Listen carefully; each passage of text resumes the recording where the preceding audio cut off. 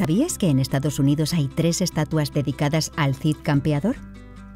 Rodrigo Díaz de Vivar, el Cid, es una de las figuras más conocidas de la historia de España.